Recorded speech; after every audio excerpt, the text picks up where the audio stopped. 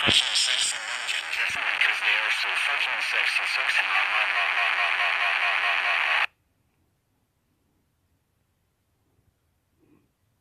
Oh, hi, Tom and Jerry.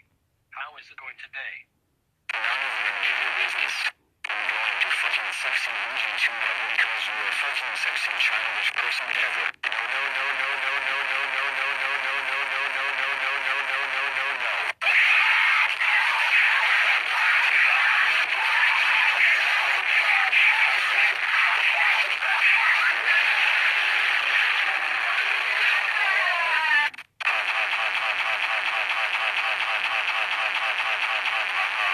sexual sex or sexual sex or sexual sex or yeah.